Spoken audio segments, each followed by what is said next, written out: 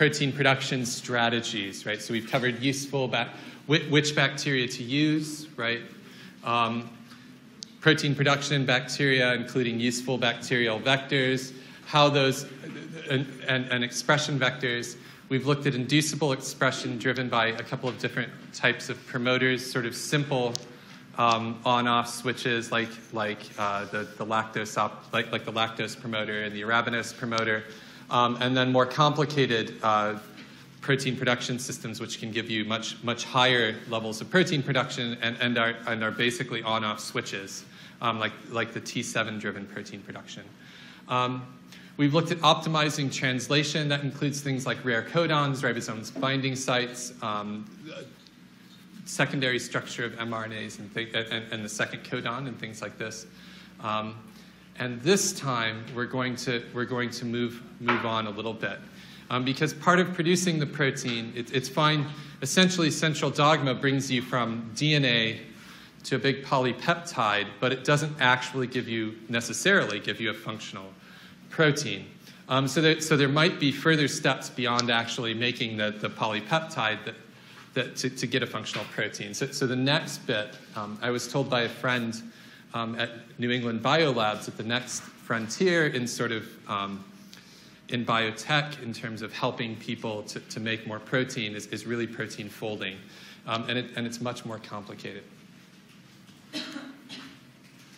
Um, good. So, so, protein folding it, it, it, encompasses sort of the very simple task of going from a polypeptide to a folded protein, and that's sort of biophysics. I want to sort of just cover the background for the biophysics because for me it always helps. To, if I understand in a theoretical sort of way how this stuff happens, I can, I can go back and try to troubleshoot it um, just by tweaking little things about the, the thing if I understand the principles. Um, and then we'll talk about post translational modification and protein localization and how those can be important for, for getting functional protein. Um, depending on where we are, we might break there. Because so this session today is split up into two sessions: one in the morning, one in the, the afternoon. And confusingly, they put it in two different lecture theaters. So, good luck. Uh, um, and uh, I don't know whether we'll make it all the way through all of the, the post-translational modifications and, and, protein localization before we get to production. It, my, my, goal is to make it through all of that before we get to protein production um, in eukaryotic microorganisms. Um, and again, we'll, we'll run through the same thing. We'll talk about useful species, we'll talk about standard expression, uh, expression vectors, and inducible expression.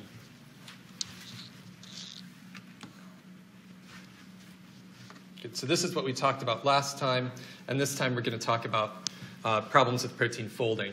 And there are two main problems with protein folding. The, the first is that your protein can get degraded by proteases. That's when you when you know that you've got good production of your, of your polypeptide, you know that you're getting good transcription of it, you can see that it's being translated, but nonetheless, you still don't get any protein, right? And you prep your protein, and in, in the initial stages, you can see protein there when you, when you lyse your cells, but by the time you get purified protein, it's, it's fragmented into bits, and most of it's gone. Um, the other thing that can happen, which we'll probably actually talk about first, is, is that you can get protein aggregates in the forms of inclusion bodies and then just uh, and, other sorts of, of, aggregated protein. And most of the time, protein aggregates aren't, aren't functional. They, they can be a useful tool for protein purification, but in terms of protein production, you usually want to avoid them. Um, and then finally, we'll talk about post translational modifications. Good, so to come back to our troubleshooting issue here again, what we have um, is we have a protein that, that we're trying to produce. Uh, we, we take our whole cell lysate, we run it out, we see all the cells, uh, all of the proteins in, in the cell. Um, we, we add our IPTG, or we heat shock, or we do whatever it is that, or cold shock, or whatever, or do whatever it is that induces production of our protein. Um, and we expect a big fat band here, but in fact, what we see is a tiny little band. Um, so you have very low expression. And the question is, what went wrong? Um, another thing that can happen, besides just getting actual sort of very low levels, is, is what you'll do. Usually, when, when you produce your proteins, you, you take your cells, you lyse them, um, and then you have this nice cell lysate. But the cell lysate is, is full of soluble things that are useful, and, and then a whole bunch of insoluble crap that you want to get rid of membranes, um, cell wall, unlysed cells, and, and, and any sort of chromosomes and any sort of cell debris that you want to get rid of. So you'll do, you'll do this great big um, pelleting step at the beginning to get rid of all that insoluble crap. And what often ends up happening is, is despite having tons of protein here, you'll see that a lot of your protein comes down in this pellet. And that's a sure sign that your protein is, is aggregated. Um, it, it, they're, so they're in, insoluble aggregates, or what we often call inclusion bodies. Um, now, if you talk to a microbiologist, there's some sort of difference between a microscopist. There's some sort of difference between, between inclusion bodies and aggregates, and, and I don't really want to get into that. I'm going to call them both the same thing. Essentially, what they are, they're just great big clumps of insoluble protein um, in your cell, and you can see them in, in um, say, an electron microscopy. You can also see them just on phase contrast uh, microscopy. What you'll see is a little phase bright speck or phase dark speck in your cell and that's all of your protein that's getting produced, and that's a sure sign that it's probably actually aggregating.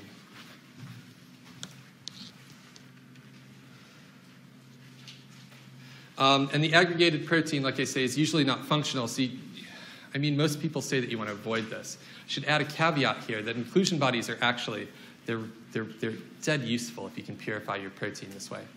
Um, so when, when you form an inclusion body, for, for reasons that are completely unknown, these inclusion bodies typically consist just of your, just of your protein of interest. They don't really have much else there. Um, and, and what's more, they, they, they pellet, but they don't pellet at the same speeds as all the cell debris. So the, the cell debris will all pellet at sort of a low speed. Um, and if you give it a sort of medium speed uh, centrifugation, sort of not, not quite ultracentrifugation, but somewhere, somewhere between sort of a low speed centrifugation and ultracentrifugation. These, these, this protein, which is uh, these aggregates, which consist almost entirely of your protein of interest, will pellet out and they'll be almost 100% pure. And if you're very lucky, you can take that protein and you can denature it. Um, usually we'll use things called chemical denaturants. I don't know if you've heard of urea or, or guanidinium. These are, these are chemical proteins that disrupt, um, that disrupt hydrogen bonds in the proteins, and usually they'll break up these aggregates and make them soluble. Now, that protein will be denatured and still won't be active, but often you can take it, and if you dilute it out and dialyze away the, the guanidinium or the urea, um, in a sort of gentle way, the, the proteins will refold into their, into their active conformations. And if you can do that, you can get a lot of really pure protein. Um, there's some reasons why you may not want to purify your protein this way. You know, for, for one thing, many proteins just, this just won't work, right? If you try and purify your protein this way and try and renature it, probably the reason that it aggregated in the first place was that it was a little bit unstable. It just didn't fold very well, and that, that's why it formed the aggregates. Um, but the other thing is, is that renaturing your protein um, can be, you know, if you're doing this on an industrial scale, can be a bit inefficient, right? You can get lots of really concentrated, really pure protein at one step, but then essentially you have to take that nice concentrated protein, and in order to get active protein, you have to dilute it out to really high levels. Um, and, and that creates large volumes, and large volumes aren't necessarily what you, what you want. What's more is it's a little labor intensive, right, because it requires a couple of steps. It requires adding a denaturant, it requires diluting out the protein, it requires dialyzing away the denaturant, um, and all of that can take time, which, which may not be on your side. Good, so to think about how, we, how you can sort of start to address this. Um, this is not stuff that would necessarily be in an exam, right? But it's all stuff that would help me think about, you know, th- th- this is all sort of future stuff. This is proper class, not I'm, not I'm, I'm trying to give you a certificate here, right? Um, it always helps me to understand the, the principles behind something. Um, so, so it's, it's good to remember like some basic principles behind protein folding. The, the first is that you know proteins are essentially long linear polymers. But the long linear polymer in and of itself is not generally functional. Right? It has to fold, it has to go from being a long linear polymer and it has to fold back on itself to form a three dimensional structure, and it's that three dimensional structure, or rather, usually just a tiny portion of that three dimensional structure. It's the actual functional bit that you're looking for. And there are two main forces that drive protein folding. We tend to think about protein folding in, in terms of enthalpic forces, right? The, the, this is stabilization of the, of the polypeptide chain. Um, when it goes into a solution, right?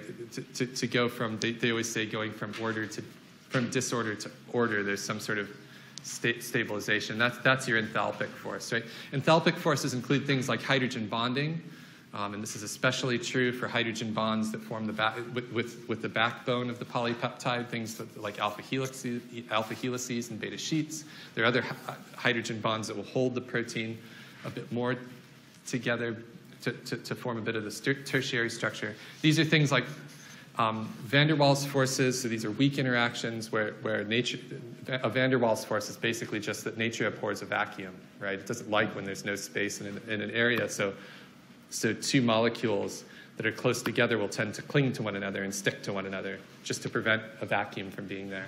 Um, and finally, you have electrostatic interactions, which are another form, sort of depending on who you ask, are a form of weak um, intermolecular interactions, right? You have hydrogen bonds, which are, which are sort of, it's a weak interaction, but it's sort of starting to reach the, the strong interaction phases. But then you've got these weaker forces like van der Waals forces and electrostatic interactions. So that's a positively charged amino acid with a negatively charged amino acid, right? Um, but the main driver for protein folding, which is the, the, the factor that we always seem to forget about, um, are actually entropic effects. Um, and, and, this includes something called the hydrophobic effect. Now, usually when people talk about the hydrophobic effect, they talk, they, they talk about van der Waals forces and the fact that you know, proteins like to stick to one another and hydrophobic amino acids just like to stick to one another. But it's actually it's a bit more complicated than that. Um,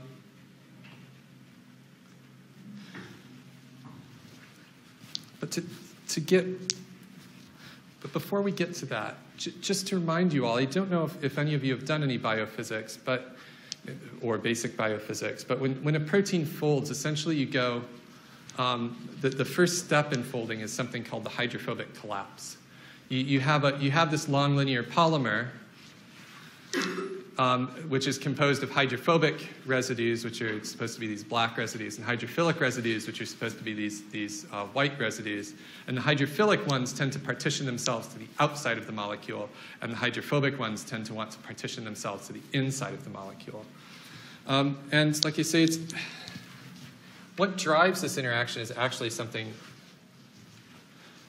rather, rather complicated and, and rather a bit more indirect than we usually feel comfortable talking about. Um, good, so don't pay attention to a lot of this. Essentially, what we have are two different forms of entropy that are fighting against one another. You've got a linear polymer, and that linear polymer, just through forces of entropy, wants to occupy as many different conformations. It's like a string wants to sort of occupy as many different conformations as possible. Right? The other sort of entropy, though, that we don't really talk about is something called solvent entropy. Now, the solvent itself actually wants to also wants to order, occupy the most disordered state possible, right? And it's usually just because water wants to keep bleeding off um, all this heat. There's all this thermal motion in the water, and the water molecules tend to tend to bounce around and, and want to move, right? Because another mo- water molecule will come in and sort of displace it. Now, what happens if you throw a hydrophobic uh, molecule in the middle of water is that the water, um, be, because you know, we all understand that, that water forms hydrogen bonds, right? Um, what happens is, is the, the water wants to uh, satisfy all of its hydrogen bonds in order to fulfill all the, the enthalpy that it possibly can but it also wants to move around as much as possible. And when you throw, when you throw a hydrophobic molecule in the, in the middle of a water solution, what ends up happening is, is the water needs to crystallize around, essentially needs to crystallize around that hydrophobic little bit, right? Because the, the water can't satisfy a hydrogen bond by hydrogen bonding with this hydrophobic residue because it can't. Um, and that causes an ordering of the water around the hydrophobic residue. And, and the water doesn't, doesn't like that. So, so what's, what's much more energetically favorable is if you can bury that away. So, for example, if this was a hydrophobic residue in the middle of a protein,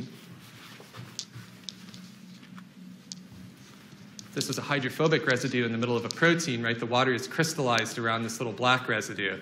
And when the protein folds, now it's buried in the middle. The, the water can hydrogen bond with these hydrophilic residues, right? That's why they're hydrophilic. But, but then, it doesn't have to then it doesn't have to crystallize around these, these black residues. And that's, that's really the gist of the hydrophobic collapse. And, and it's, it's the main driver of the hydrophobic effect. Oh, good, I had that in there. And it's really these electrostatic interactions that, that further stabilize. After the hydrophobic collapse, you have all these weak interactions and electrostatic interactions that stabilize the, the molecule structure and, and give the thing that its, its three dimensional shape. Right, so, so that's meant to say that what we have is we have this balance between the conformational entropy of the, of the, of the polypeptide chain um, and these two sort of forces that are holding the, the protein together, the, the hydrophobic effect and, the, and, the, and, and these enthalpic forces. And that means that, oh, hello, my screen's gone. Um, that means that folded proteins are really, the people who work on protein folding, we, we talk about these big, um, the, these big free energies of folding right? But they, but they tend not to be very big free energies of folding. They're, they're actually, on, on, the big, on the large scale of things, if we talk about reversible reactions, they're actually very, they're actually very small changes in free energy. So proteins are really very much on the verge of stability.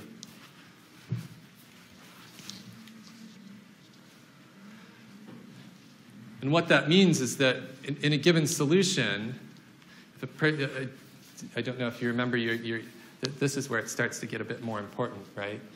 Um, if, you, if you remember your, your equilibrium chemistry, you'll know that as you get, as you get closer to the, to the TM or to the melting point, right? It, it, as, the, as the delta G becomes less and less and less negative, you approach a point where you have more and more and more unfolded proteins under equilibrium conditions in the cell.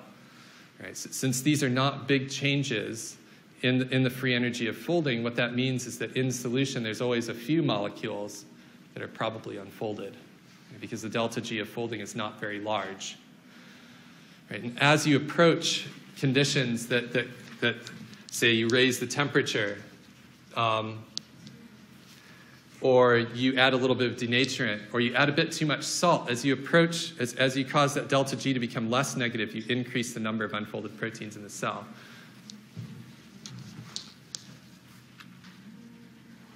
Um, this is right. This is the equation that dictates that, but don't bother memorizing it. Right. You should all be familiar with this equation. You should be familiar with how you get from. Th- this is just standard equilibrium kinetics. So you should all be familiar with these equations already. But I'm not.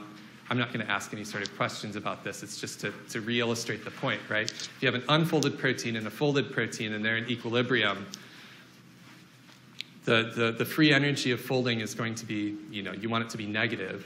So, so the equilibrium, the, and the delta G is dictated by the, by the equilibrium constant, right? So that's folded, concentration of folded over unfolded. So as this becomes closer to, uh, if this number were really negative, most of your protein would be in the folded state.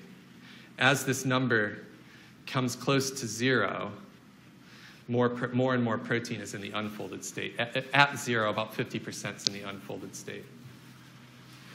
Right, that's, that's that's all I mean to say about that. But just an interesting tidbit, too, on the side. I, I, I found several years ago, so somebody presented a presentation that there are lots of proteins um, that, have t- that, that have a two state equilibrium. You have a protein that's most stable at a, at a particular temperature, right? Usually we think, okay, you cool it down. Temper- temperature is the thing that dictates folding. So if you raise the temperature, the protein, you know, there's more heat energy, and that causes the protein to unfold because the, the polypeptide chain needs to breathe the, bleed off the thermal motion of the, of the solvent. Um, right?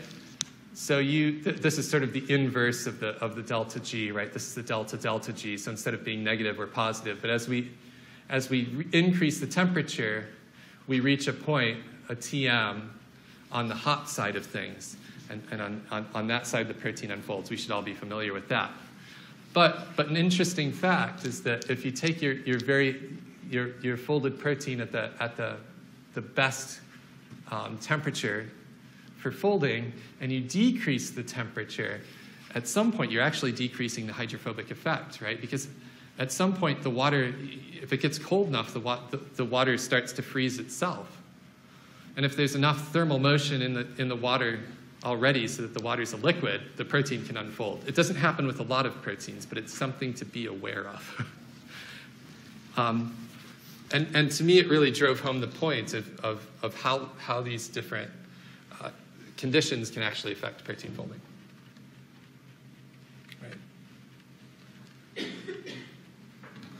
Good. So what happens when we, as we get closer to the to, to, to these areas where we have a to these regions, temperatures or conditions where, where, the, where the free energy of folding starts to get closer to zero, or even say the best, the, the optimum temperature for folding is, is, is, is actually still very close to zero. Um, well, what happens is, is you have more protein in the unfolded state. That, of course, that right, your protein is now it's an equilibrium between a folded and an unfolded form. Um, as you get clo- as the as the free energy of folding gets closer to zero, you have more protein in the unfolded form, and that folded form is that unfolded form is then prone to degradation. So proteases can access this polypeptide chain and chop it into bits. Usually proteases won't digest a fully folded protein because the active site can't access the, the, the backbone of the polypeptide. Um, or the other thing is, is if this is concentrated enough, that protein will tend to aggregate. Uh, it'll, it'll tend to clump with itself. There, I think we'll talk about this.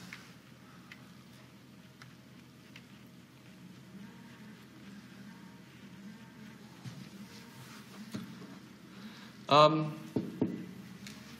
one last thing about protein folding, and that's, that's to talk about, about folding kinetics. Um, usually we think about protein folding as a, as a simple linear pathway. You produce an unfolded protein. That unfolded protein um, either goes, folds, collapses, and, and, and, and goes straight to a folded protein, or say collapses into a molten globule state, so some sort of intermediate um, with some secondary structure, and then, and then goes to a folded state. Um, and, and usually, we shouldn't worry about this form of the protein because this form of the protein doesn't exist very much. What we're, what we're usually worried about is this intermediate here and the life of this intermediate. So the longer that intermediate is around, ah, screw energy diagrams. Let's not talk about that this year.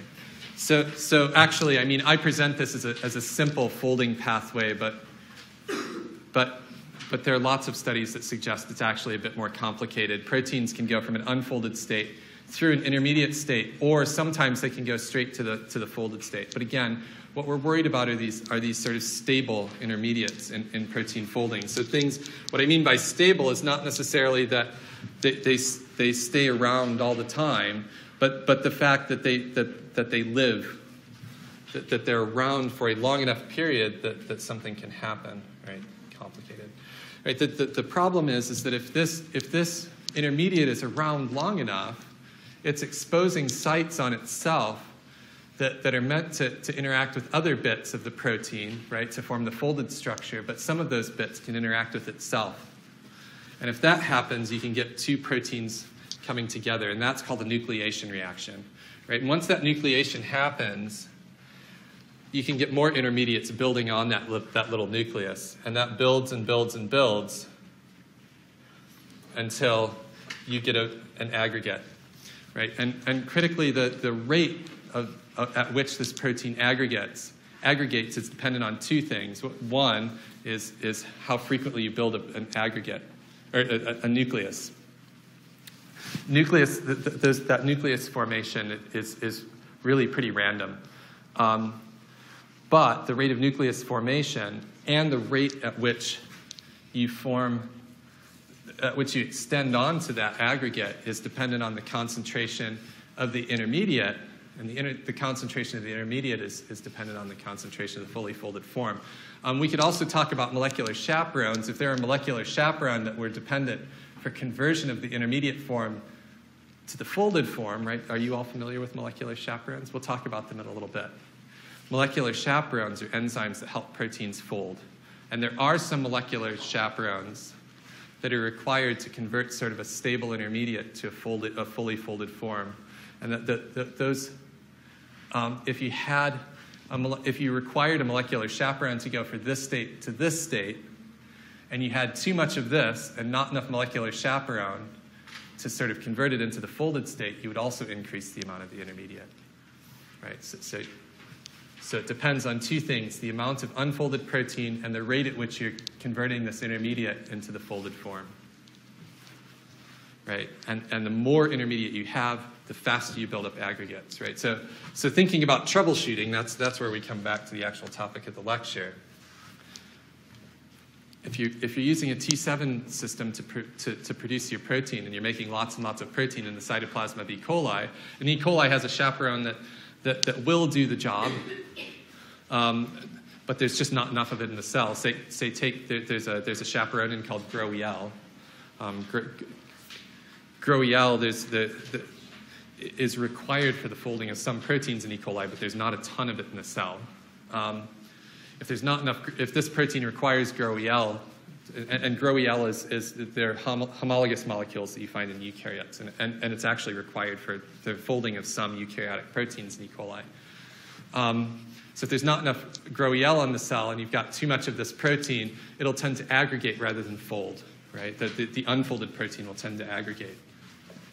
So what you can do is you just make less of the protein, right? If there's less of the protein, there's less chance of two, two unfolded molecules coming in contact with one another, right? Because they'll tend to fold rather than, rather than, rather on their own rather than stick to one another. Right? So, so again, like I say, the key is that the aggregation depends on the concentration of the unfolded protein or the, the unfolded intermediate. So the solution is to lower the rate of protein production, at least, lower the rate at which you, you, you synthesize um, proteins, and just express the protein for a longer period of time.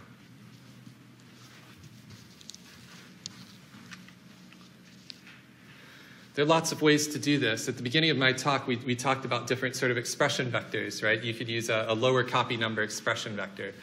Um, you could use a less strong promoter, um, so, so, so, instead of using a T7 promoter, use or a, or a um, I don't know, you're probably not familiar with a P-TRIC promoter. They're optimized lactose promoters. You could use the sort of wild type lactose promoter, which, which um, produces, which uh, expresses genes at a slightly lower level.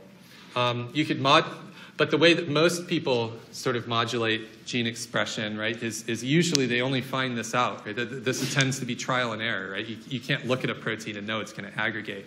And so by this point, you've already cloned your protein into a T7 promoter. Um, it, and, and, and you're set up to synthesize tons of the protein, and now you've got this expression vector, and you have to lower the expression again. So a lot of people will do that by, by co expressing this T7 lysozyme at different levels to sort of tamp down the, the rate of production of the protein. Um, you could also change, as we talked about in the last lecture, you could change the first few codons of the, of the, of the um, mRNA just to, just to sort of lower the, the rate of expression. Um, or you could use more slowly translated codons.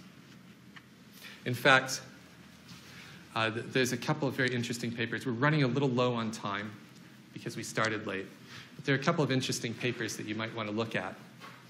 Um, so, so in this paper in particular, the, the authors, what they were trying to do is they were, they were looking at production of, of a luciferase in E. coli. It's a firefly luciferase, right? It doesn't come from E. coli. So the codons are not optimized for production in E. coli.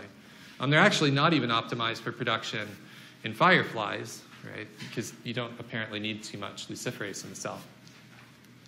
And what they, what they found was that if you put you could, you could optimize the codons for production in E. coli, and you would end up with lots more protein.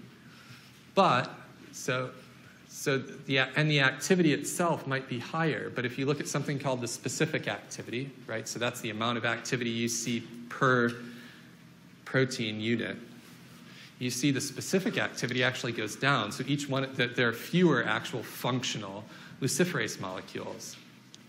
Um, and they, they theorized that was because luciferase is a protein that we also use for protein folding studies because it's very prone to, to denaturation and aggregation. Um, so, so what, what the authors thought was okay, what happens if we go back and we plug in different um, slow reading codons? In fact, they can recover some of the specific activity from that just, just by slowing the rate of translation.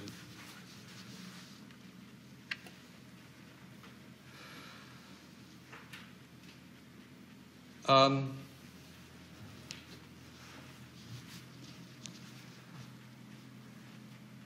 So right, so there, so there are lots of different things that you can do. So you can use more slowly translated um, codons. You can also decrease the rate. That, so so there, there, there's one other thing that you can do, and this is this is not a this is not a, a wonderful answer for a for a for an exam, um, but but but it, it is an answer. But the way in real life, you know, you can optimize all of this. This is all stuff that you would want to put on an exam. In, in real life, what we tend to do is we just tend to take so, so I'm, uh, you know, we're splitting this into what can we, what can we um, sort of examine you over and, and what do we actually do. So in real life, what we actually do most of the time is, is you just take the, the culture um, and, and you can just lower the expression temperature. That, that has lots of effects, right? You, you produce the, you know, usually we think E. coli grows at 37, let's produce our protein at 37. Some people say, okay, let's produce it at 30. Um, but actually, I know a lot of people who, who no longer produce any of their proteins at sort of 37 or 30 degrees Celsius. They tend to just do an expression at, at 25 degrees overnight. That has several effects, right? One, it decreases the rate of translation. Um, translation, it, it, seems, is just particularly prone to change, is particularly sensitive to changes in temperature. Um, the other thing it does is if you have a high copy number vector, it lowers the copy number and again, for, for sort of unclear reasons, you go from having like 25 copies per cell to something like 10 to 12 copies per cell if you're using a, a standard cloning vector. Um, and then the other thing that it does uh, is, it, is it increases the stability of the protein by, by changing the physiology of the cell.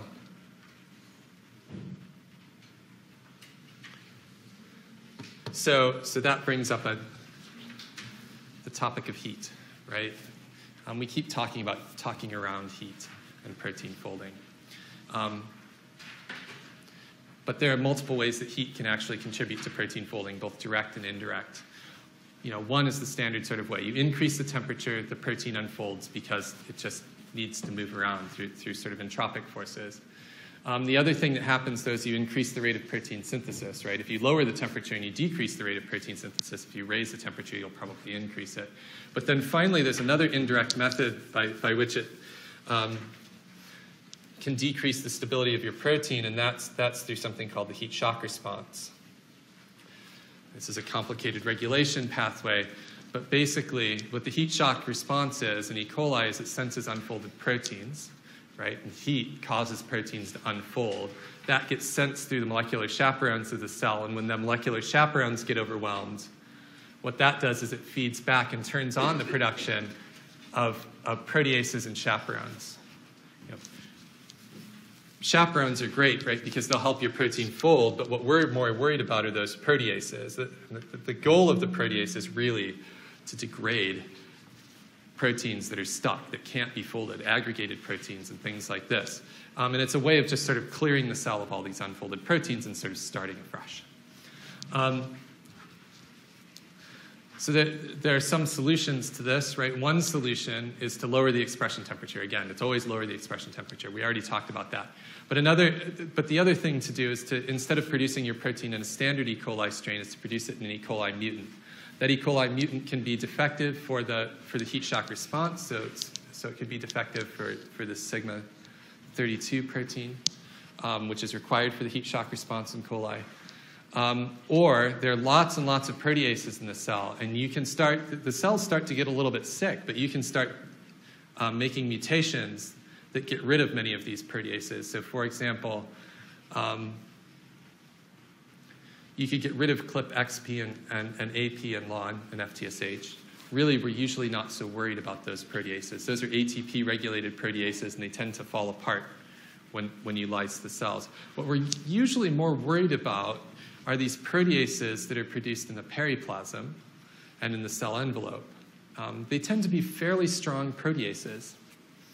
Um, so you can produce your protein, and it'll be perfectly stable with, if you have it in the cell. But when you lyse the cell, what happens is um, you'll have all of these proteases that are, that are released into the, into the supernatant.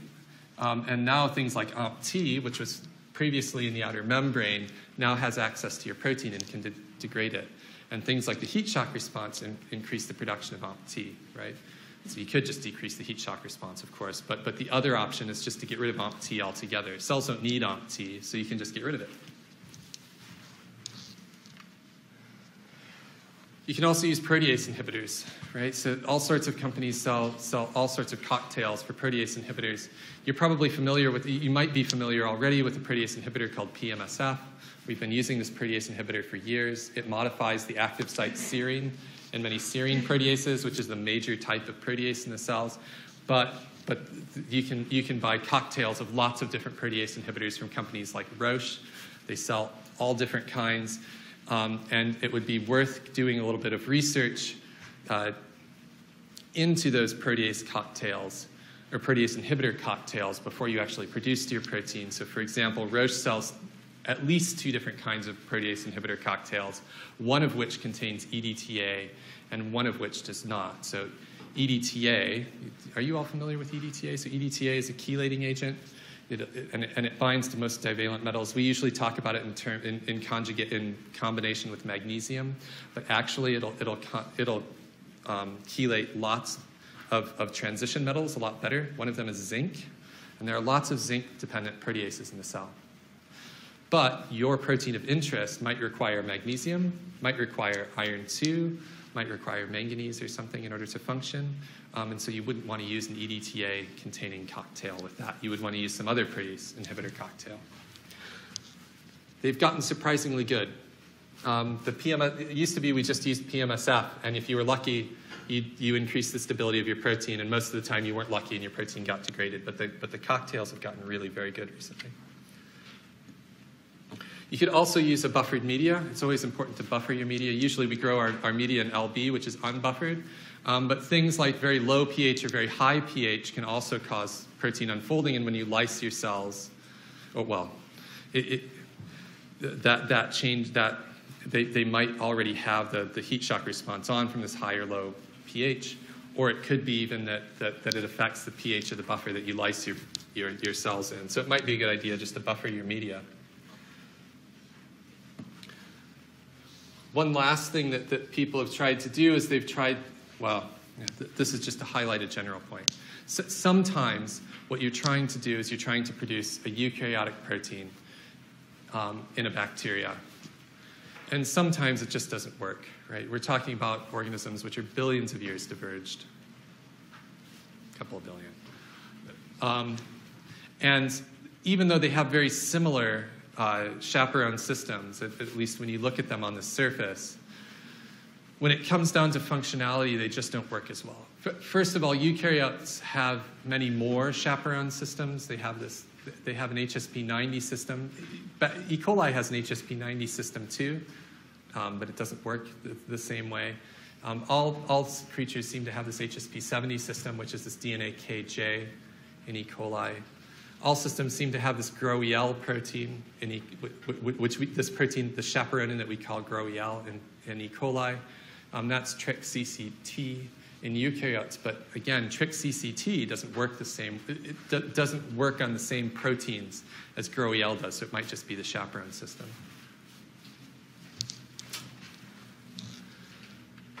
But one thing that you could, you might be able to do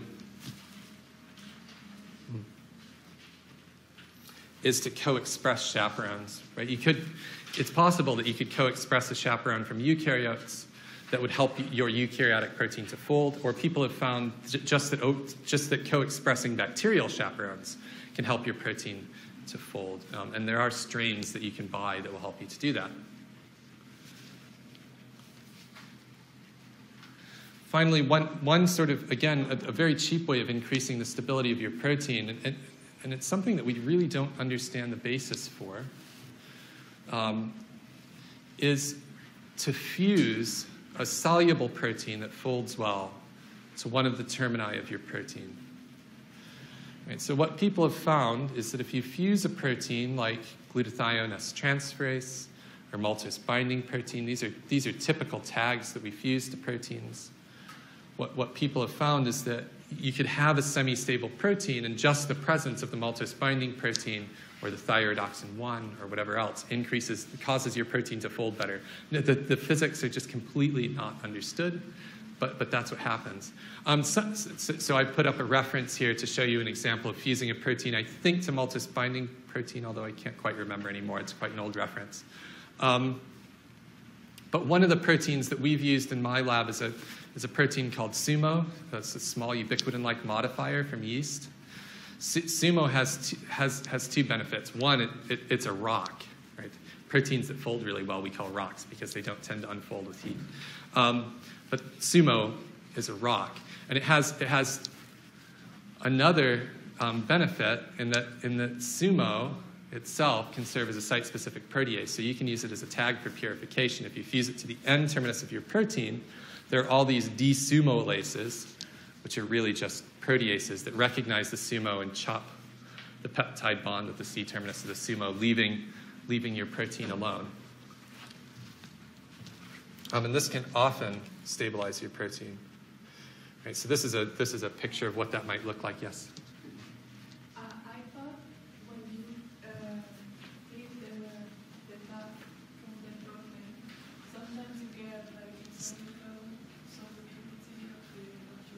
Sometimes, yeah.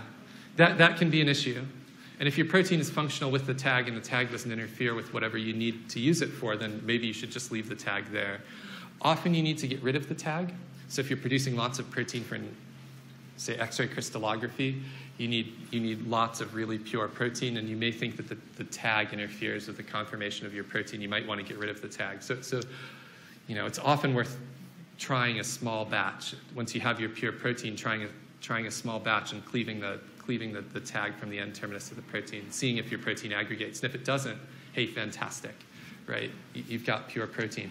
I, I don't, again, people don't quite understand why these tags work. They help the protein fold, but they don't seem to increase the stability of the final folded protein. So once it's folded, it seems to say, stay stably folded. Folded. If you chop off the tag, often even even unfolded, even unstable proteins will stay folded. Um, but yeah, at, at, this point, you know, once we've gone beyond, once we've gone beyond translation, we're sort of entering the area of, hey, let, us try it out. We, we've got sort of a theoretical framework to start to start tinkering around with this to see if we can improve protein production. Um, but we don't really understand what's going on, right? it's, a, it's a bit of trial and error.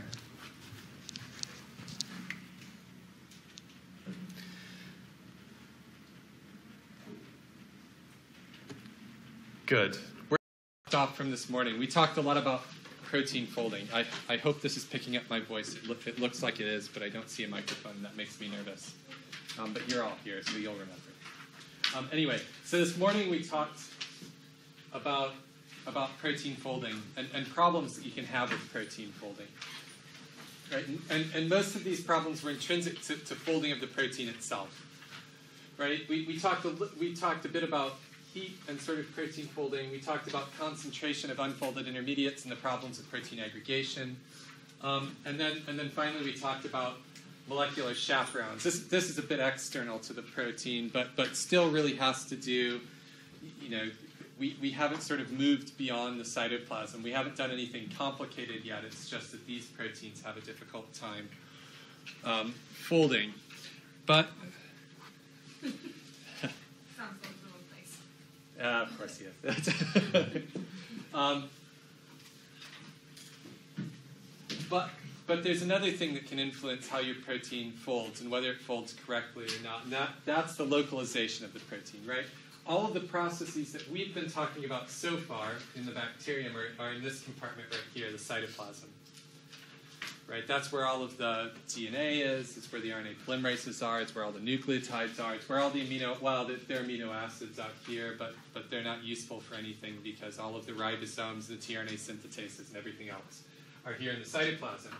Um, but there, there, are a lot of proteins for, for various reasons that, that really don't fold very well in, in, the cytoplasm. That sounds a little bit strange because the cytoplasm is supposed to be nicer for folding, right? It's supposed to have all these chaperones um, as opposed to the, to the periplasm or the extracellular milieu, which are full of, of, of proteases and things to get rid of, of, um, of any sort of proteins.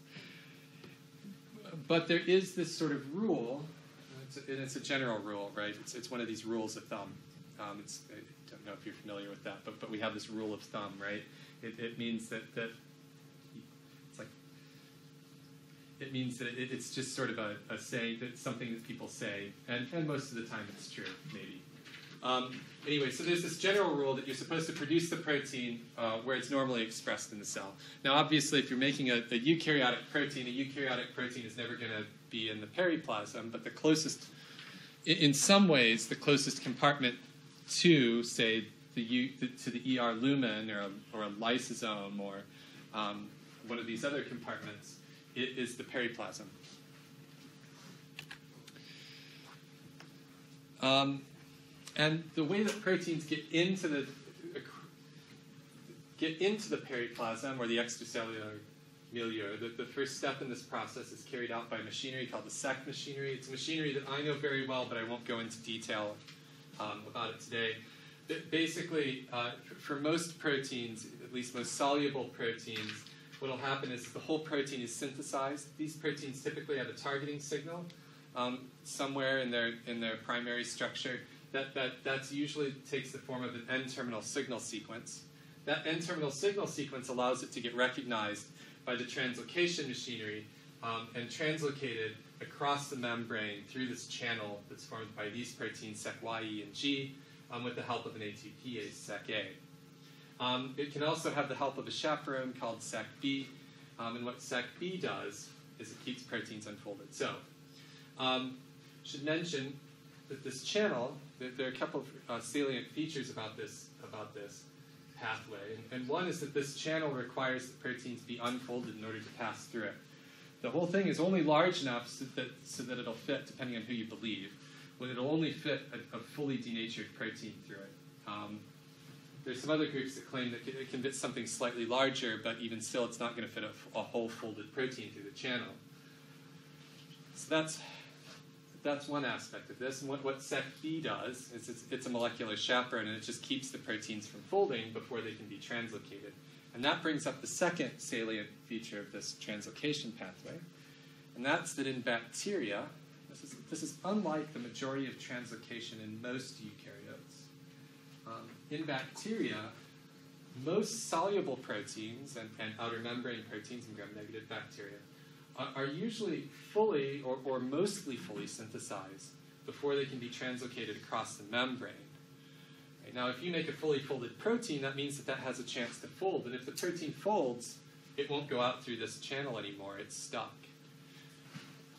Um, good. So, those are just all things to bear in mind. Usually there's no problem, but often there's no problem exporting your protein.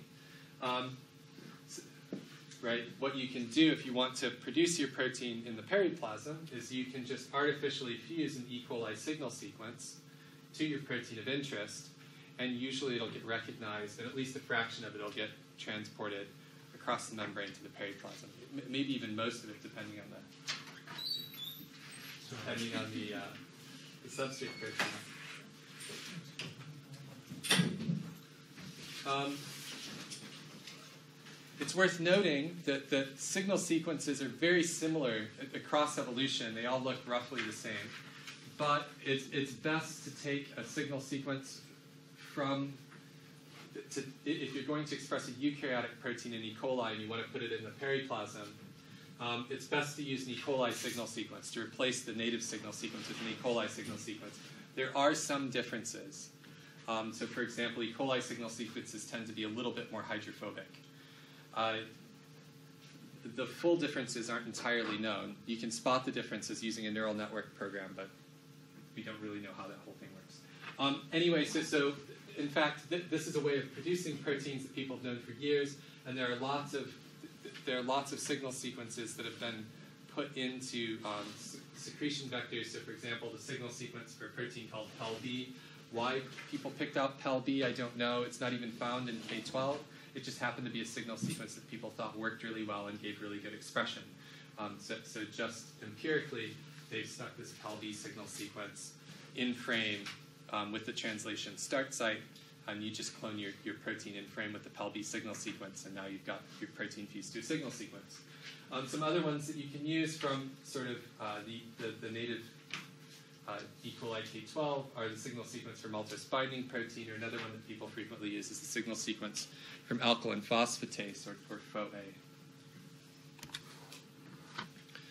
So, like I say, that one of the issues with this pathway is that if you make a fully folded protein, it can fold, and that folded protein won't go out across the membrane.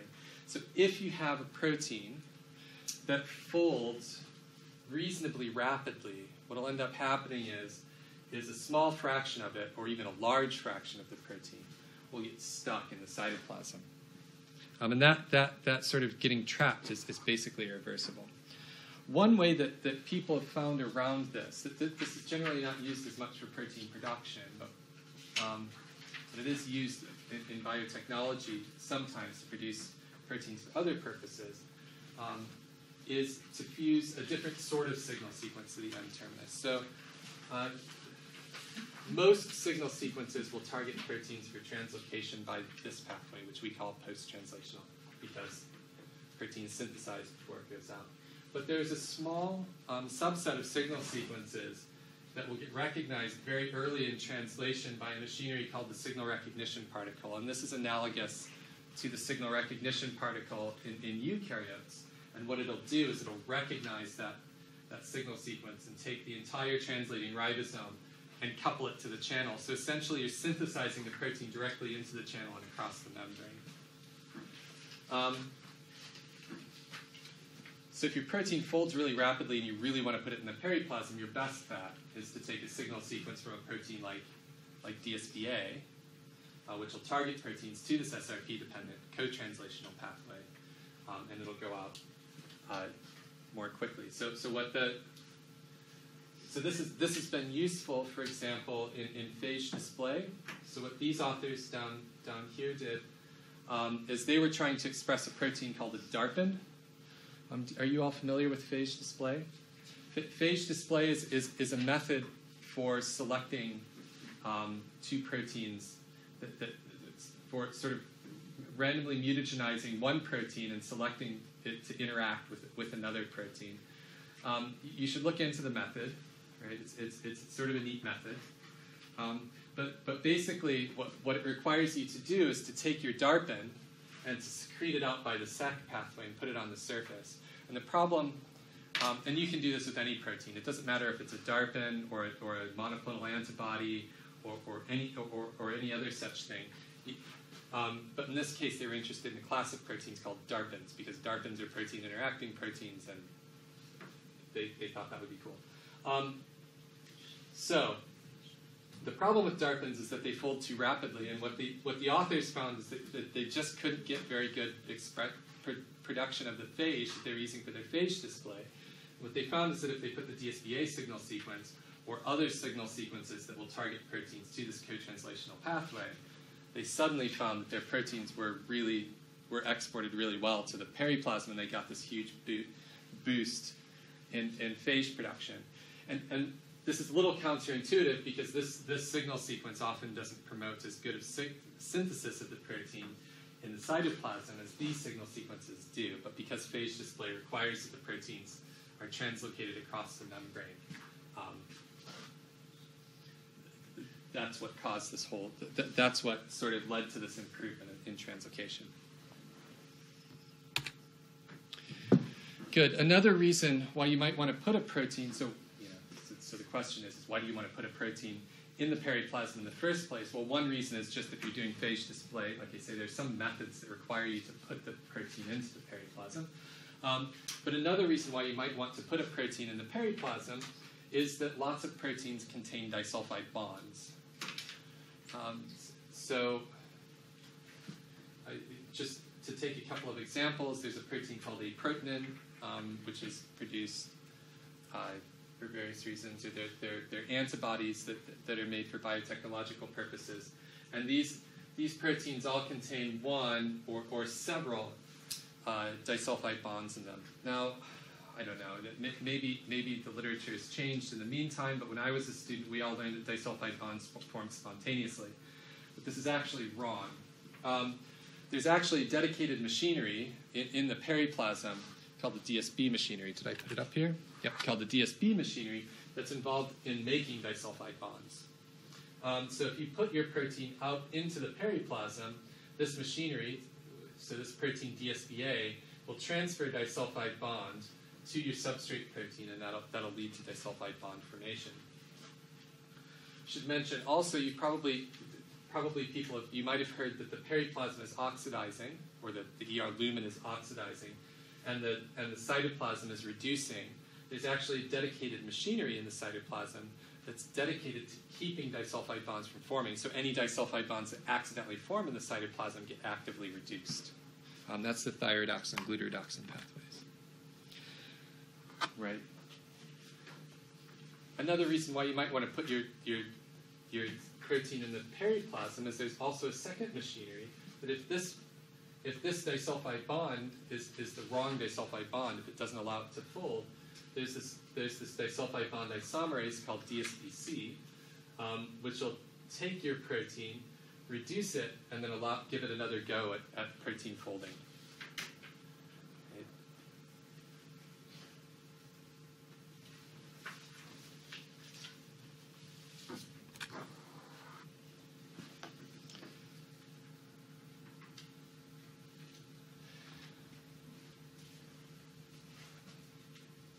This is all really useful when we start thinking about protein folding.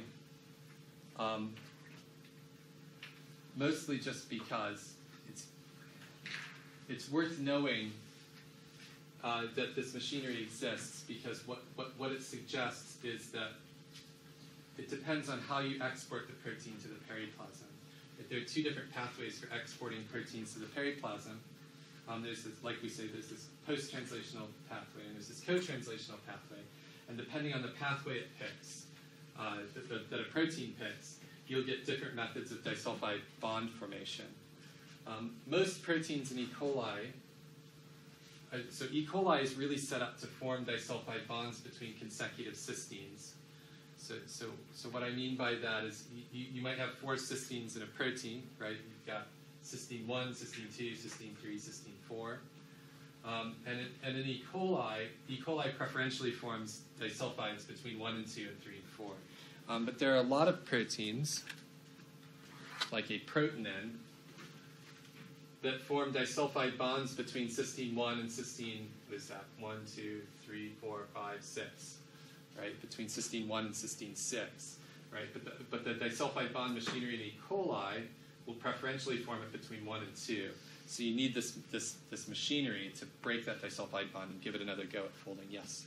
Um, so are you saying that all the proteins in cytoplasm have um, disulfide bonds?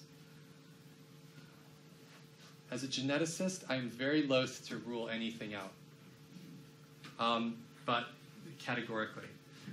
But as a general rule, yes, that's the case. There, there really aren't any disulfide bonds in, in, in native, in, in native um, cytoplasmic proteins. I think, um, and I don't remember my enzyme mechanisms well enough to remember, but, but I think maybe ribonucleotide reductase forms a disulfide bond as part of its catalytic cycle. And, and, and I think you need thyrodoxin to re-reduce that. At least I, I know that the reason the reductive systems, so if you knock out all the reductive systems in the, in the, in the E. coli cytoplasm, thyrodoxin 1, thyrodoxin 2, or even just thyrodoxin reductase and glutarodoxin reductase, um, that, that kills all the, the reductive pathways in the cytoplasm and the cells die. And the reason that they die is because ribonucleotide reductase can't get re, re-reduced and you can't make, so ribonucleotide reductase turns NTPs into DNTPs. Um, and if you can't make DNTPs, you're dead, right? um, so as far as I know, there are no proteins that form disulfide bonds normally in the cytoplasm. We'll, we'll come back to that in just a second.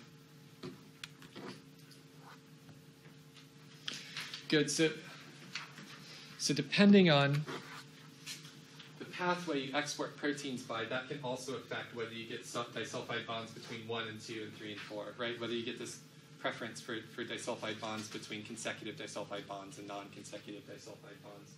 Um, so if you export proteins by the co-translational pathway, you'll, you'll prefer to get disulfide bonds between 1 and 2 and 3 and 4. If you export proteins by the post-translational pathway, you're supposed to, to prefer to get, you're supposed to allow the protein to export and then get, go through a, a, a preliminary folding step, which might allow your proteins to fold a bit more natively before you get disulfide bond formation. It's all a bit of hand waving, right? But what it tells you is that you might want to try more than one. If you're really having problems producing your protein in the periplasm and you really need to put it in the periplasm to produce it, you might want to try different export pathways to get it out there because it could affect the folding of the protein.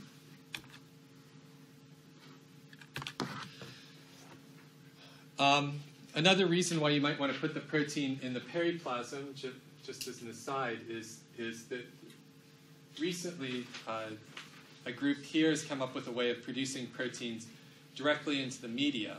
Right now, now we've been talking about protein folding in the periplasm, um, but there might be. But but what this group has done is they've produced a way of, of they've come up with a way of producing a protein that, that will get your protein cleaner in the first step. And basically, it relies on this secretion system that, that inserts proteins into the outer membrane. Um, and when the protein gets inserted, basically what you have is you have a, a beta barrel protein that gets inserted into the outer membrane. And you have a passenger portion, and that, that's, that's your protein of interest, right? You have a signal, uh, signal sequence that targets the protein for translocation across the membrane. And this system, what happens is, is this, this beta peptide, which is this, this outer membrane protein, inserts into the outer membrane and drags your passenger protein along with it. And once it's out into the periplasm, there's a proteolytic event that cleaves between the passenger and this, this outer membrane protein and releases the protein into the media. And now all you have to do is spin down your cells and you've got pure protein, assuming you can concentrate it enough. Um, and everything that we've talked about so far also comes down, uh, also applies to this, right? If you have a protein that folds rapidly, it may never get out across the cytoplasm. It may never get out across through the Sec machinery and across the membrane. So, so you may want to export that protein co-translationally.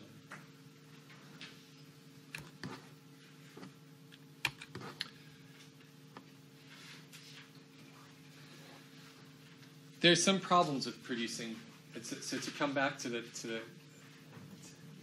to this point from earlier, there, there's some problems with producing proteins in the periplasm, and they're, they're actually well-known problems because people have been trying to do this for years and years. Um, you have all these complications that we've been talking about with, the, with protein folding and protein translocation, and, and maybe the, the, the way that the protein is exported might affect the way the protein folds. And once it's out there, you have another protein folding problem, right? especially if you're making a eukaryotic protein. Uh, even if it's produced in the, in the ER lumen, the ER lumen contains ATP and has ATP dependent chaperones. The periplasm of E. coli doesn't have any ATP, so there are no ATP dependent chaperones. Um, and that includes things like HSP70s. So HSP70s are a major class of chaperones. There are no HSP70s in the periplasm of E. coli. So if your protein requires an HSP70 to fold, it won't fold. It won't fold in the periplasm of E. coli. The, the other thing is that we sort of alluded to this earlier is, is that there are lots of periplasms, or there are lots of proteases in the periplasm of E. coli. Um, so if you put your, well, more peri, probably more proteases than you find in the ER lumen. So if you put your protein out into the, into the periplasm, um, it might just get degraded. So people, because of this, people have described the periplasm as a very harsh environment for protein folding. But there is an alternative to this, um, and that's that you can produce your protein in the cytoplasm. Right? And, and, and the trick to this is to overcome this reducing environment of the cytoplasm. So just talking about this pathway a little bit ago, um, there are two different pathways for reducing disulfide bonds in the cytoplasm. There's one that's called the glutaredoxin pathway. Right? You've probably all heard of glutathione. It's a small molecule um, that, that, that contains a single cysteine. That glutathione can reduce proteins directly, or it can reduce this class of proteins called glutaredoxins. And glutaredoxins can then reduce a protein of interest. Um, the, the, most, the most important one is this protein ribonucleotide reductase. Without reduction of ribonucleotide reductase, cells won't grow. Um, the, other, the other pathways is this thyrodoxin pathway, um, which, so there's a class of proteins called thyrodoxins that can reduce your protein of interest. In both pathways, you need a way of, you need a way of re-reducing your, your glutathione or glutaredoxins or thyrodoxins. In the glutathione pathway, there's a protein called glutathione reductase, which reduces glutathione, oxidized glutathione back to reduced glutathione in the thyrodoxin pathway, there's a protein called thyrodoxin reductase, which is reduced by, um, which reduces thyrodoxins, and both pathways are, are dependent on NAD, NADPH. Um, now, like I say, if you knock out both of these pathways, you don't get re-reduction of ribonucleotide reductase, and the cells eventually die. Right? So, no good. But what you can do is it, it turns out um, that somebody found a long time ago that if you, if you knock out one of these pathways, in particular, this, this, this thyrodoxin, if you knock out this protein thyrodoxin reductase, what will happen is this thyrodoxin, thyrodoxin 1 in particular, will get oxidized eventually by, by reducing um, ribonucleotide reductase, right? So ribonucleotide reductase is oxidized thyrodoxin reductase picks up the disulfide bond from, from ribonucleotide reductase and in the process becomes oxidized. Um, and th- now you've got an oxidized thyrodoxin in the, in the cytoplasm.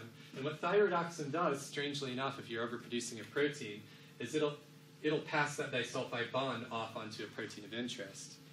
Um, so, so, you, can, you can see this. The, the way they first found this was they were producing an alkaline phosphatase. So alkaline phosphatase is normally a periplasmic protein. Um, and it requires two disulfide bonds in, in order to, to be functional. And what they, what they did was they took the signal sequence away. So the protein is cytoplasmic, right? And what, what they found is that if you knock out thyrodoxin reductase, you now get thyroid, you now get some alkaline phosphatase activity. Actually, pretty good alkaline phosphatase activity, all of which depends on thyrodoxin 1.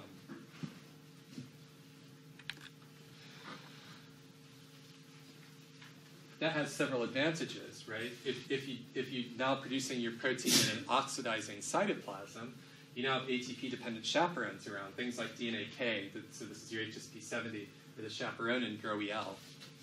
Um, you've also got lots of glutathione around, right? So the, so the ER lumen also has lots of glutathione in it that can sort of help buffer disulfide bonds, it serves as sort of an exchange mechanism.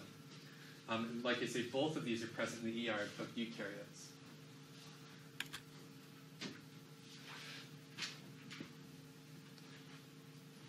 Um, what the group that, that sort of started doing this work found was, was that they could then, what they then did was they knocked out glutathione reductase. Um, now, when you knock out both of these pathways, the cell should be dead, but for some reason they pick up a suppressor really frequently. Um, you don't need to know about the suppressor, but the suppressor just allows them to live. But when you knock out both of these pathways and you have this, a, a, a, a third mutation that allows you to live, this process becomes even more efficient. And there, there are companies that, that sell derivatives of this strain. Um, one of those, that, that, the one that, that most people will be familiar with, is one called Origami. It's been around for ages. Um, and another one is called Shuffle, which is basically origami, but it, but it, but what but what New England Biolabs has done is they put in a plasmid that contains a disulfide bond isomerase to sort of help help disulfide bond formation. Um, and using this, people have used the, these sort of methods to make things with really complicated um, disulfide bonding uh, patterns, things like antibodies and aprotein and stuff like this. Um, it's probably, it's, it's still really difficult to produce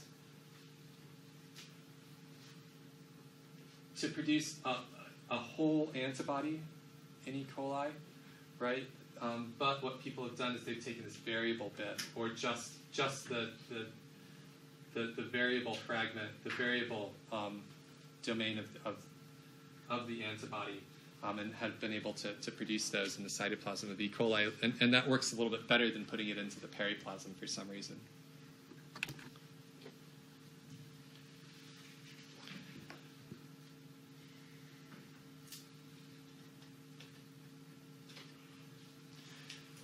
Good. So that's where I sort of want to end with protein production in bacteria.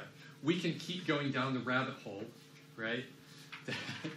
we, we, we've started to get more and more and more fiddly as we've gone on, right? And, and, and th- there are companies that sell all sorts of little fiddly things to just improve your protein um, production methods just a little bit more so that you can get more and more and more um, and, and better and better, better purified protein.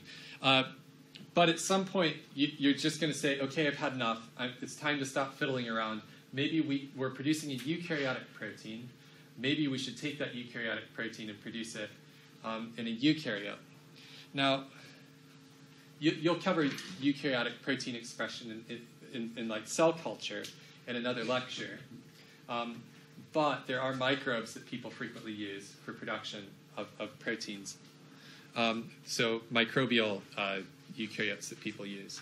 Now, before we go into that, I just want to reprise again, right? So, so everything that applies to protein production in bacteria also applies to pr- protein production in eukaryotic microorganisms, right?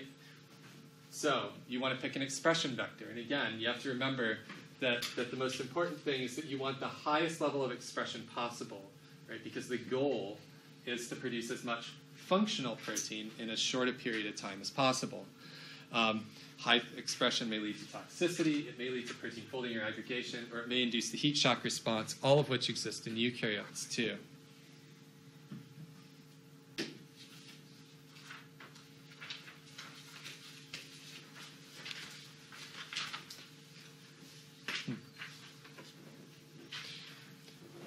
we have all of these, these choices that you have to pick. You have things like gene dosage, you have gene, gene regulation, you've got repressors and activators, you've got your on off switch mechanisms, and you have inhibition of, of, of production using this T7 lysozyme, so you have ways of fiddling with protein production. Um, or you can change the mechanism of induction. Good. So why might you want to use a eukaryotic mechanism? So we, we've covered some of this stuff. Why might you want to use eukaryotic microbes as opposed to using cell culture? Well, one reason is that they'll grow to high cell densities, just like bacteria will, and you can get them in nice culture flasks under sort of anaerobic conditions so that they're just chugging away, right? Um, producing protein. Um, they have they usually have relatively simple growth requirements. They're always a little bit more complex than bacteria are generally. Often they're, they're, a little bit auxotrophic and require some supplementation of the media, but still, it's, it's usually a pretty simple media that you're growing these things in. Um, you can grow them in huge batches in fermenters.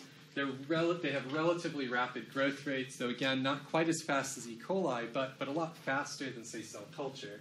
Um, and some of these tools, some of these um, eukaryotic microorganisms have really well developed genetics.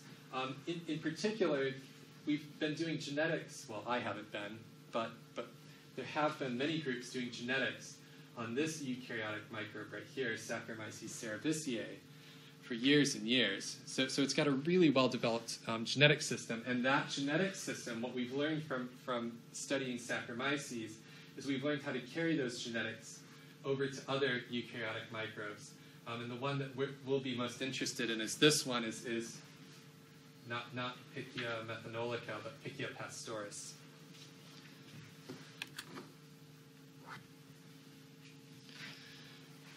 So again, here, here's some examples of proteins that, that, that might be useful, that, that might be useful to produce in eukaryotes, things that have really complex folding pathways that require eukaryotic chaperones, things that require the special environments of the eukaryotic ER or, or the eukaryotic um, cytoplasm, um, and things with, with more complex disulfide bonds than can be handled by the, by the, by the E. coli machinery.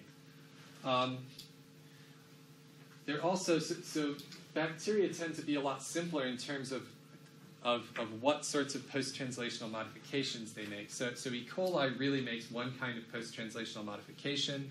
Um, well, it makes a few different kinds of post-translational modifications. There's disulfide bonds. We haven't talked about acetylation or phosphorylation, but even where it makes some of these, these but it doesn't make um, N-link glycosylations for the most part or O-link glycosylations for the most part to proteins. Um, and even where it does make modifications that, that are made in eukaryotes, they're, off, they're not made with the same machinery, and so the same residues aren't phosphorylated or acetylated um, or methylated. Right? So, so, so rather than take all of that machinery from eukaryotes and put it in E. coli, it might just be easier to take your protein and put it in a eukaryote. It's also worth considering what, when you might just skip moving on to, to a eukaryotic microbe. So, for example, if you're producing a mammalian protein, there are lots of there are lots of post-translational mod, and, and the reason that you're producing your protein in, in a yeast is because it needs uh, a, a, certain type of post-translational modification. So, for example, a, a glycosylation. Um, that, glycos- that, that sort of modification may happen in yeast, but it may be a, a totally different type of, of post-translational modification. So, so, for example, glycosylation of, of proteins, you, will you'll tend to get glycosylation at the same residues in, in lots of different um, eukaryotic, in eukaryotic microbes as, as you do in, in, say, mammalian cells. But the type of glycosylation that happens is much different. So, so if, you if you want to make a drug that you're going to inject in humans, you'll have a different glycosylation pattern, and that will get picked up by the immune system. Um, and, and, you could cause an immune reaction to your drug, which could render your drug inactive or cause an immune shock or some sort of immune shock to the, to the host. Um, and there are a very few proteins that really require specialized um, metazoan or mammalian chaperones in order to be produced. And of course, if you're making a bacterial protein, there's really no reason to produce the protein in, in Pichia, right? So again, just, just to say the things that we need to consider, we need to consider everything that we considered in E. coli.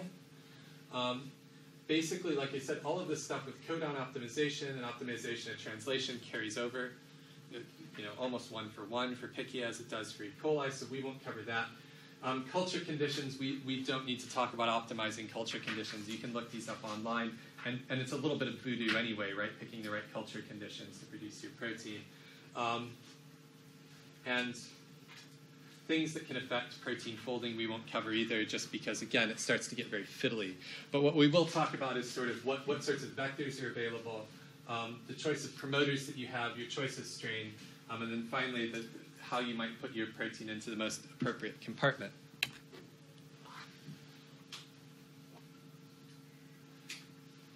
Good. And for the most part, we're going to be talking about this organism, Pichia pastoris. You could produce your protein in Saccharomyces cerevisiae.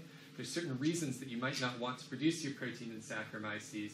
Um, one of those reasons is that Saccharomyces is very difficult to lyse, whereas Pichia is, is, is a little bit easier. Um, so people have preferred to do their genetics in Saccharomyces and preferred to do their protein production in Pichia pastoris. Um, there are really two sorts of plasmids. There, there are two sorts of, of uh, expression vectors in, in Pichia. One of those is plasmids. So yeast have plasmids. Humans don't really have plasmids, but yeast do have plasmids. And plasmids tend to be relatively high copy number. They're not high copy number like E. coli high copy number, but they but they, you do have like say up to 10 copies of this gene per cell. Um, usually, one of the nice things about using a plasmid is that these plasmids have or- bacterial origins of replication. These, these origins of replication won't be recognized by the yeast um, replication machinery. Um, but they do have a, a, bacterial origin of replication, so you, you, can grow it in bacteria. And then they have a separate origin of replication for growth in, in eukaryotes. And that just makes it easy to manipulate, manipulate your DNA in bacteria, and then you just put it in your yeast. Um, the one issue with, with uh, with using plasmids is that in yeast, uh, unlike in bacteria, so bacterial plasmids are, are usually, they're a little bit unstable, but they're usually pretty stable. You, should select for them all the time, right? Bacterial plasmids always have some sort of antibiotic marker so that you make sure that your bacterial strain always has the antibiotic in it. But if you don't, most of your culture will still have the plasmid. That's not really true with yeast. Ye- yeast kick out plasmids pretty, pretty quickly. Um, so what people have done instead is, is one, one benefit to using yeast as opposed to E. coli is that it's, it's really easy to transform your yeast with a linear piece of DNA um, and to recombine that bit of DNA into the chromosome using homologous recombination. Are you all familiar with homologous recombination? You should be, right? So if you, if you have a bit of DNA sequence in, in say, a PCR product that matches the DNA sequence in, in the host chromosome, you'll get homologous recombination between the two. Um, and, and if you get two homologous recombinations, you can replace that bit of genome with your PCR product. Right? And, and chromosomal integration is usually very stable. One of the really neat things, too, at least in Pichia, is that you can get arrays of this. You can, it won't be, it won't be terribly stable, but what you can do is that if you take, if this is, if say part of this is your gene of interest, you can also put in a gene that encodes zeamycin resistance. Zeamycin resistance is, has something called gene dose dependence, right? So, if you have one copy of a, of a gene, of a zeamycin resistance gene, you, you have one level of resistance. If you double the number of zeamycin resistance genes, you increase the resistance. And if you add more and more and more zeamycin, what you can do is you can amplify this into a giant array, right? And by, by amplifying zeamycin resistance, you'll also end up usually amplifying your, the, the, the number of genes that encode your protein of interest, and this can lead to much higher production levels.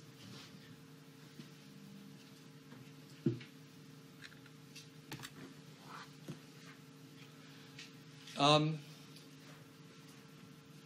now, th- this is really just a side point. I'm sure that most of you know this already, but, but we need to think when we, when we start picking our, our expression vector, we also have to consider what promoter we need to use. And, and I, I know that most of you should know this already, but bacterial transcription promoters will not work in, in Pichia pastoris. You have to pick a different promoter. Um, and for, for Pichia, there tends to be three choices. There's one that's this, this alcohol um, dehydrogenase, AOX1, which is involved, which normally promotes the synthesis of a methanol dehydrogenase, which, which Pichia uses to grow. Um, there's another one for glyceraldehyde phosphatase, G, the GAP gene. That's a that has a different levels of induction depending on the um, the carbon source that you use, right? So if you're growing on glucose, you get really good expression. You could grow the protein on galactose and get a slightly different expression level, or you could grow it on glycerol and get a, a totally different level. And if you knew which carbon source you wanted to use, then you could vary the expression of your protein depending on how much, uh, depending on which carbon source you use. Or finally, there's one called YPT1, which is just a nice constitutive promoter.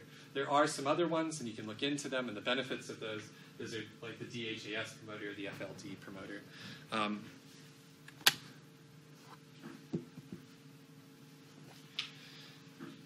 your choice of strain frequently, again, this, you, this will depend, like in E. coli, it depends on your induction mechanism. Um, Pichia have it, the, the most common way of inducing protein expression in Pichia is to use one of these AOX promoters. Um, so, so normally, Pichia grows on methanol. Um, and if you were to take a wild type Pichia pastoris strain and try and induce expression of your protein using, using an AOX1 allele, uh, what would happen is, is you would induce expression of this alcohol dehydrogenase that, that Pichia uses to grow on methanol. Um, and that would lead to sort of, a, a, because you'd be using up the methanol, that, then that would lead to, to downregulation of the AOX gene from your own copy of the promoter. um, which, which means that you wouldn't necessarily get great expression. So, so in a mute plus strain, it's very useful because you can you can add methanol as the carbon source, and your strain would grow on that, and methanol would also induce the production of the, your protein of interest. The problem is with doing that is that the amounts of methanol that you would need to induce your protein of interest are so huge that it's a giant fire hazard, right? We're talking about 20%, 30% methanol that you're just dumping into a fermenter, which isn't great. Um, so what people have done is they've, they've mutated these two, AO, these two alcohol dehydrogenase genes. Um, there's a mut S strain where they've just mutagenized the, the AOX um, one gene, and in that one, that one has that can be induced at slightly lower levels of methanol. It's sensitive to low levels of methanol. So if you add if you add too much methanol, um, the strains suddenly die. Um, so, so, so instead of like dumping in methanol and allowing the bacteria to grow on the methanol, you usually have to supplement with another carbon source. Um, but you still get good production of your protein. And finally, people have, decided have made a strain where they've where they've taken out both uh, alcohol dehydrogenase genes, um, and that leads to, to tighter control of expression. But, but the upshot is is that now your cells are sensitive to methanol, for, for the same reason that you're sensitive to methanol. I should add is that is that the first step in, in alcohol dehydrogenase turns methanol into into formaldehyde, and that, that, that sort of pickles you.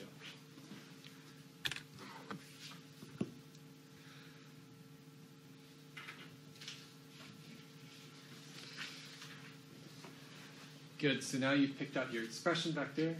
You can pick out your your inducible expression, and now now the the goal is to is to pick out the most appropriate compartment. And again, the general rule is produce the protein where it's normally expressed. So secrete, secreted proteins, ER proteins go to the ER lumen. Cytoplasmic proteins go go to the cytoplasm. With yeast, you have all. If you're producing a, eukaryotic protein, you have all these options, right? You can put a Golgi protein in the Golgi because because Pichia has a Golgi. You can put a one in the ER because because it has an ER, and, and, you just need to attach the right sequences to your protein to get it produced in the right compartment. Um, so to get a protein to the ER, the Golgi, or the media, the first thing you need to do is get it across the membrane. Um, by the SEC pathway, again, is, is, the major pathway for getting things across. That pathway is conserved in, in organisms, in, in, E. coli and, and in Pichia but it uses slightly different signal sequences. These are some common signal sequences. So the, the pre-pro alpha mating factor from, from um, Saccharomyces cerevisiae seems to work fairly well. Um, there's an acid phosphatase one or, the, or an invertase signal sequence that, that also work. Um, if you want your protein to get re- retained in the right compartment, you may need to attach other, signal, uh, other sorts of signals to it. So, for example, th- there's an ER retention sequence called the KDEL sequence, um, usually the C terminus of the protein that allows the, the, the, the trafficking machinery to recognize um, a protein that's in the, the Golgi as belonging in, um, in the ER and, and, can traffic it back to the ER. Um, I should mention that that's really important because, again, we talk about post translational modifications. Depending on what compartment you're in, you have a slightly different post translational modification you glycosylate the proteins um, in, in, in, the ER, and that glycosylation pattern changes depending on what compartment you're in. So if, if you want to make a secreted protein, a secreted protein will have a slightly different glycosylation pattern than an ER resident protein. And if that's important to what you're doing, then, then you should consider keeping the protein where it needs to be.